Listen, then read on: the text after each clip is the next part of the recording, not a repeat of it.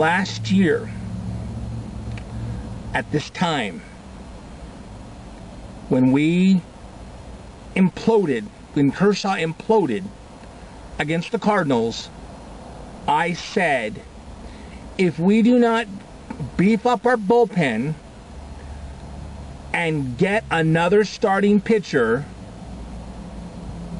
we're gonna we're gonna we won't make it. We won't make it past the first round. And I was hoping and praying that we would not face the Cardinals again because they have our number. And I was hoping and praying that Kershaw, who imploded against the Cardinals, would not implode against the Cardinals again. But no, he imploded not once, but twice. Now, personally, Don Mattingly, okay, when when Kershaw gave up those two hits when he the first game, we're winning six to one, six to one, we're winning.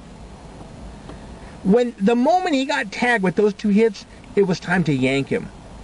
But no, Mattingly left him in until he gave up five hits and we were doomed. And we tried to crawl back and we did all we could and we lost. Then we won a game. And all we had to do, all we had to do was win one in St. Louis. That's it. That's it.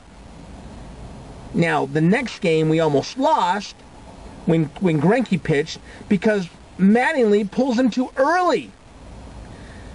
In the third game, the one that we lost, Ryu was doing great and he got yanked too early. This game, Mattingly didn't pull out Kershaw early enough. I blame this loss on a couple of things. Number one, Don Mattingly. Great guy. We had a great season. But you have a great season and you can't win in the playoffs? It's, this is depressing. I'm sitting here in a parking lot across from Lowe's. People are staring at me and probably going to call the cops. It's ridiculous. And then I don't know how many people we left on base. I don't even, even right now. I think every game we had people on, we, we could have potentially won. And then there's everything too. Puig is like 0 for 8, okay? Then he gets a triple. He's starting to come out of his slump, and Mattingly benches him. Doesn't even give him a chance. Doesn't even give him a chance. ESPN final. Yep, my son just texted me. That was depressing. Cardinals 3, Dodgers 2. Winning pitcher, M. Gonzales. Losing pitcher, Clayton Kershaw. This sucks. This absolutely sucks. It does. It's awful. Bad management. Imploding in the middle of the playoffs. Too many men left on base. And I told, I, I said this last year at this time. We need to go out and get a starting pitcher. So when, when the trade line came and left, we got nobody. Nobody at all. So now we've got San Francisco who's on a roll.